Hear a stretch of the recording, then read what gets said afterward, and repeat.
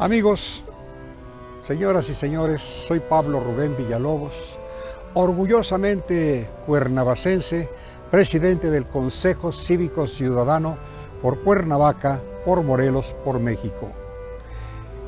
Esta organización de carácter eminentemente cívico-ciudadano encontró en un momento determinado en el camino a un consejero de nombre don Roberto Vázquez Aguirre. Don Roberto tuvo la amabilidad de informar, comunicarme que había una actividad interesante en la Catedral de Cuernavaca. Él nos enlazó al obispo de la diócesis Ramón Castro Castro y a su servidor para platicar sobre el tema.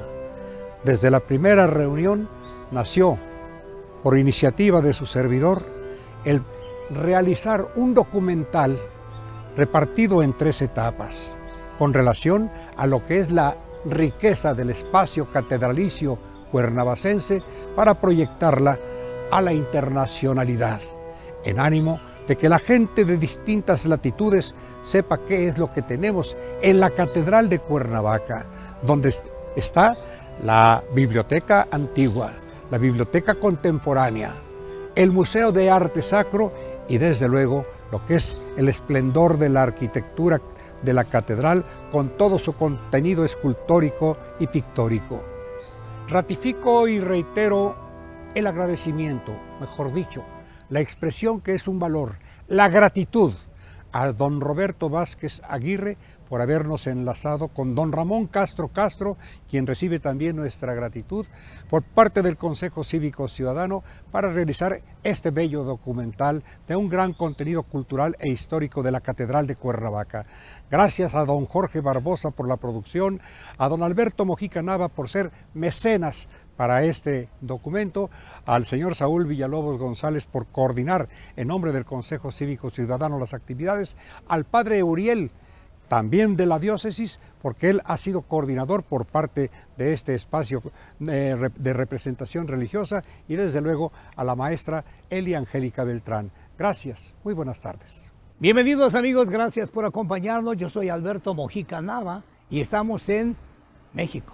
Estamos en Morelos, estamos en Cuernavaca, estamos en la Catedral de Cuernavaca, maravillosa, documental, una joya arquitectónica donde la fe se conjuga con la vida aquí en este lugar. Aquí exactamente a mi espalda, exactamente a mi espalda, una puertita pequeña que está en esta capilla abierta, es la entrada, la entrada del museo, elemento sacro que usted debe conocer. Le invito para que nos acompañe.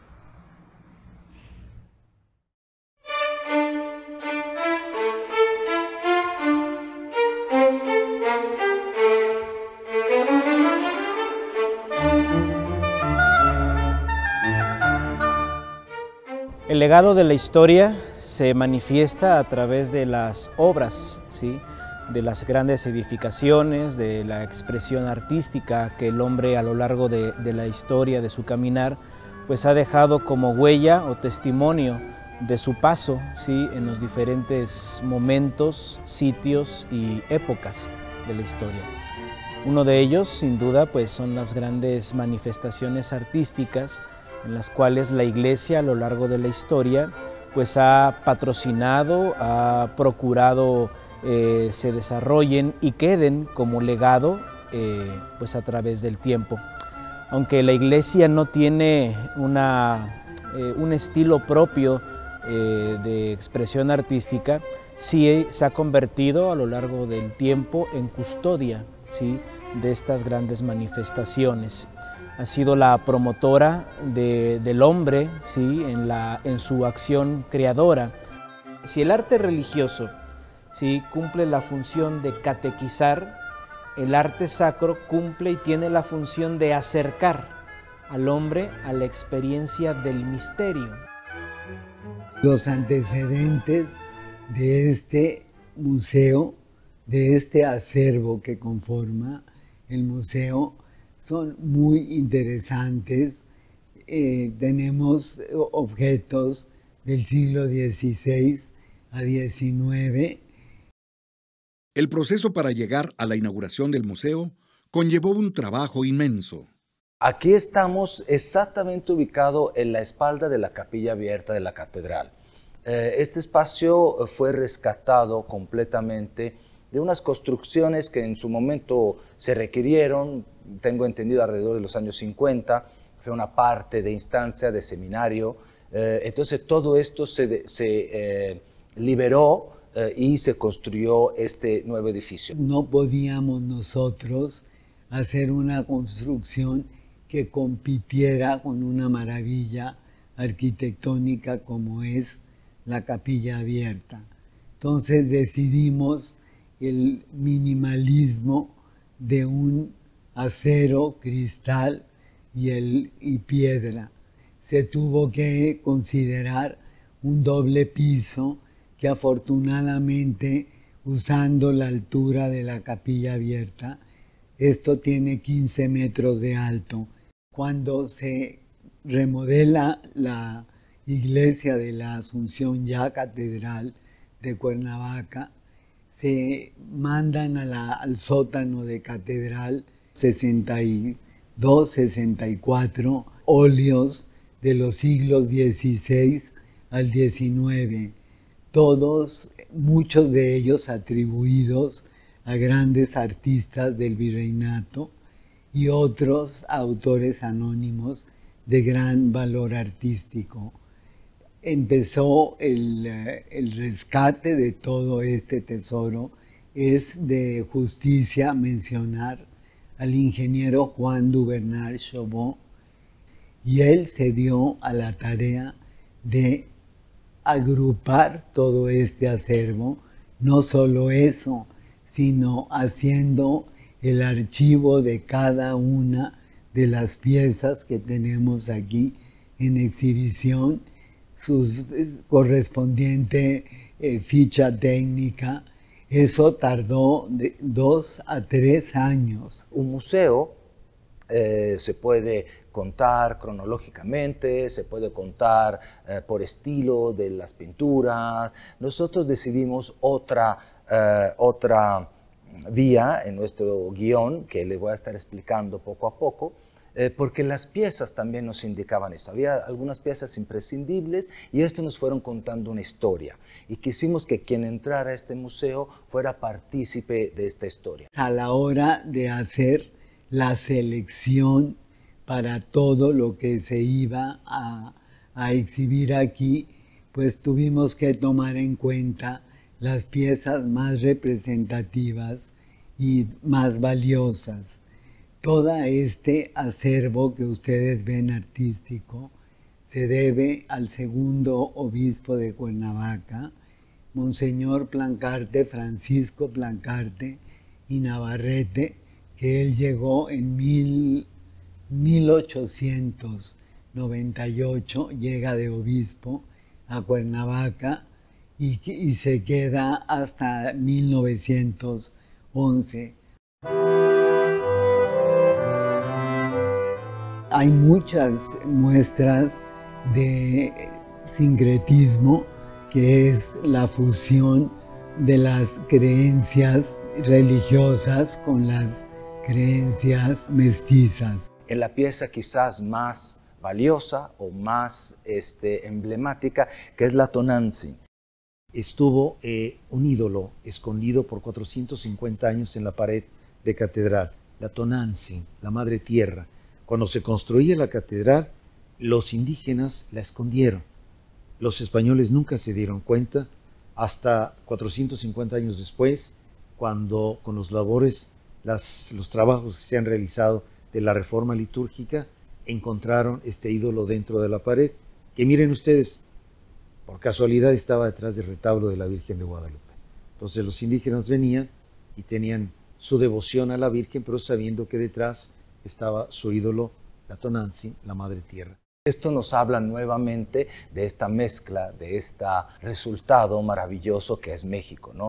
Monseñor Plancarte tiene una colección arqueológica verdaderamente considerable, pero con la persecución no supimos dónde quedó. Piezas extraordinarias que él encontró y que también le regalaron y de momento ni una sola de ellas la tenemos. El primer núcleo que encontramos entonces eh, le hemos llamado de la liturgia. ¿Qué es la liturgia? La liturgia es la actualización en el hoy de lo que aconteció en aquel tiempo, en illo tempore se dice. ¿Qué, ¿Qué significa esto? Toda vez que comulgamos, estamos revocando lo que sucedió en la última cena, en resumidas cuentas. Entonces, todo, cada objeto litúrgico sirve para remarcar algo que sucedió, aconteció en el pasado, en un tiempo muy remoto y el actualizado en el hoy. La función del arte es precisamente posibilitar al hombre en su aspecto creador, ¿sí? de manifestar, dándole la connotación de arte sacro, precisamente es eh, esa posibilidad de acercar la criatura con su creador. Las reliquias guardan recuerdos de los santos para su veneración en la liturgia. Tenemos algunas reliquias de algunos santos que han sido también herencia del patrimonio espiritual de algunos obispos.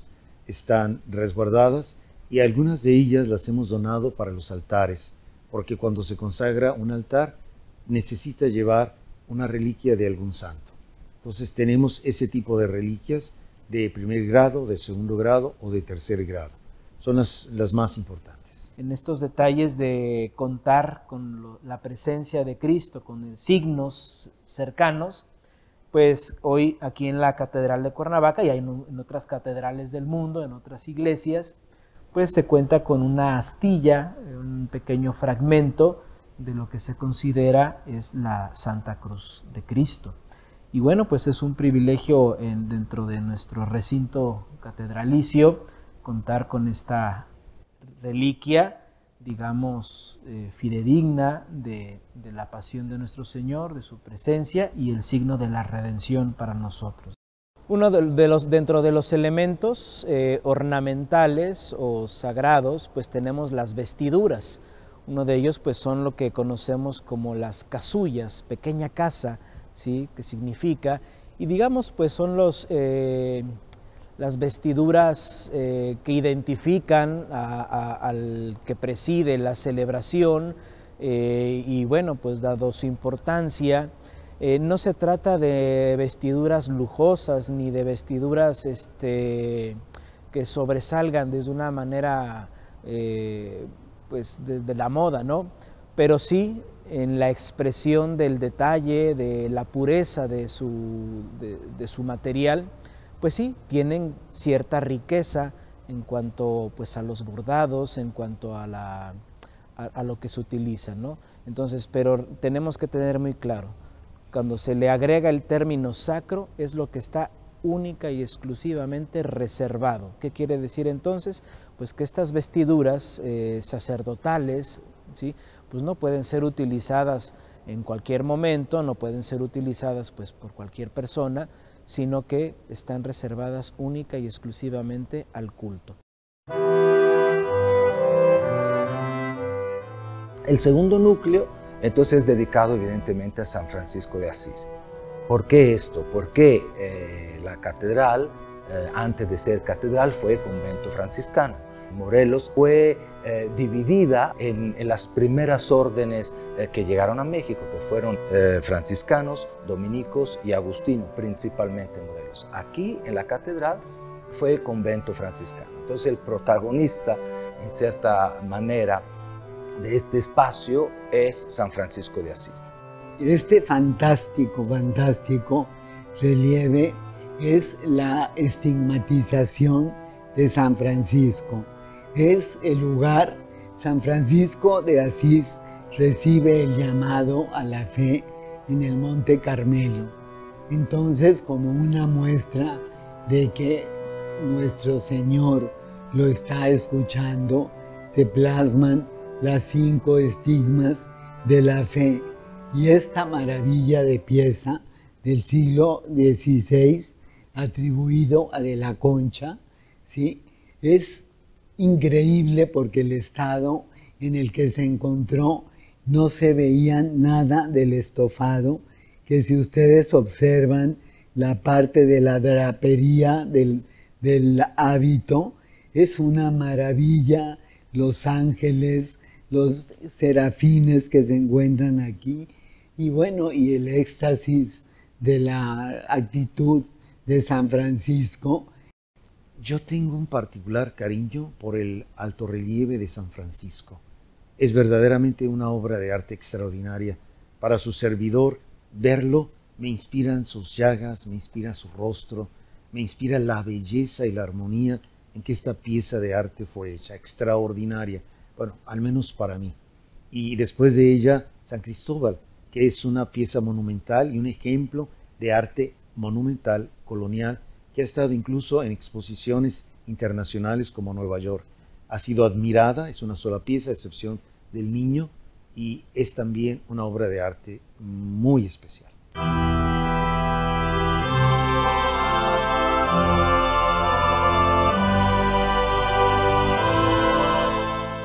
Segundo piso nos encontramos inmediatamente, ya tenemos esta, físicamente hacemos esta ascensión, subimos de nivel y nos encontramos entonces con los apóstoles. Los apóstoles fueron los primeros evangelizadores. Al morirse eh, Cristo, pues se desperdigaron en Asia Menor, en Europa, y empezaron a llevar la palabra de Cristo.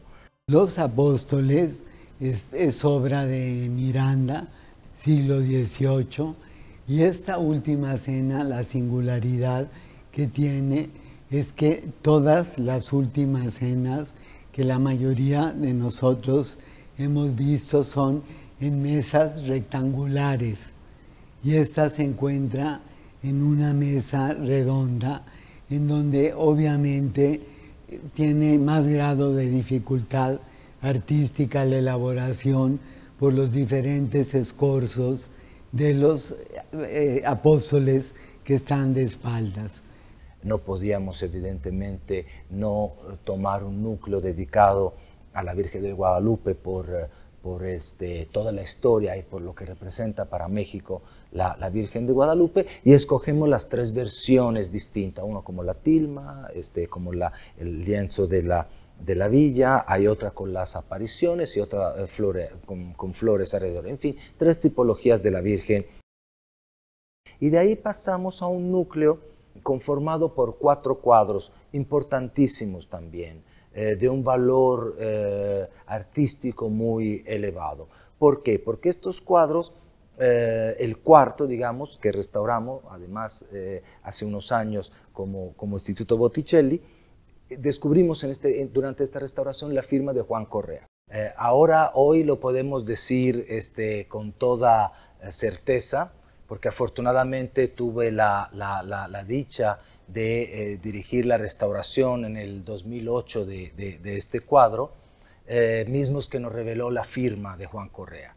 Esto fue eh, un acontecimiento sensacional por muchas razones. En primer lugar, porque en este núcleo, como le venía eh, platicando, se, encuentran otras tres obras que hasta aquel entonces venían atribuidas con cierta eh, certeza, digamos, sobre todo por la maestra Elisa Vargas Lugo, en paz descanse, pero la maestra sí estaba convencida de que fuera Correa, pero faltaba este, este detalle que pudimos eh, lograr eh, eh, regalarle después de la restauración con la firma. Este cuadro, en el núcleo de Juan Correa, probablemente el pintor novohispano más importante de toda la colección del museo. Hay muchas más joyas, pero de este periodo es lo más importante. También nos introduce el tema de la dolorosa al siguiente núcleo, que es la del Cristo y la resurrección. Eh, aquí vemos todos los atributos eh, de la dolorosa, eh, los atributos de la pasión, que son la lanza, los clavos, la corona de espinas, la espada, la faz este, de Cristo. Y sobre todo durante la restauración se revelaron todos los colores. La, la, capa pictórica estaba muy amarillenta, muy ennegrecida, con colores casi legibles, al grado que le digo que se pudo descubrir la, la la firma de Juan Correa y aquí podemos ver un poco hasta los colores primarios, el azul, el rojo de la vestimenta, el amarillo, un, eh, verde eh, de cobre transparente, eh, maravilloso, típico de, Correa. Cabe mencionar que el cuadro fue investigado justamente seguía viva la maestra Vargas Lugos en investigaciones estéticas de la UNAM. Entonces, todos estos em, muestras, estudios sobre el cuadro nos permitieron eh, llevar a cabo una restauración mucho más cautelosa y mucho más precisa. Y entonces aquí ahora, hoy día lo encontramos en su esplendor. Y esto permitió certificar en cierta manera la, atribución de los otros tres cuadros presentes en este núcleo, que son la educación de la Virgen, este, la Virgen eh, niña con Joaquín y el nacimiento de la Virgen. El siguiente núcleo es lo dedicado al Cristo, evidentemente, eh, donde teníamos eh, dos Cristos, donde hay un crucifijo y hay el momento en que le están poniendo los clavos para crucificarlo. Entonces es un momento muy doloroso. Y ahí crece un poco el patos del museo. Estamos pasando del dolor de la Virgen eh, y esto es lo que hicimos puntualizar. Yo invito al, visitante a observar una mampara que está ahí con un poema de Jacopone da Todi donde habla del dolor eh, de la Virgen lamentando al hijo muerto. Y entonces venimos... Eh, recibidos por este eh, patos de la muerte de, Cristo, pero volteando inmediatamente nos encontramos con el cuadro más grande de la colección que no podía no estar aquí presente, que representa la resurrección. Este cuadro, atribuido a José de Ibarra, eh, representa un poco el cierre eh, perfecto para este museo, como en un recorrido salvífico, donde efectivamente hay la muerte, porque sí la hay en la vida, no hay vida sin muerte, pero también está la esperanza. Todo el mensaje cristiano es uno de los mensajes más importantes, eh, lo de la resurrección de Cristo, de la vida. Eh, insisto, el laico que, que, pasara por acá puede como sea este, percibir este momento de esperanza y este momento de salvación. Las eh, bibliotecas, el museo y el conjunto en sí mismo es verdaderamente una herencia extraordinaria que tenemos en Morelos, que tenemos en México. El pequeño Gran Museo, una de las colecciones más importantes de arte sacro en México. Nadie debe dejar de apreciarlo.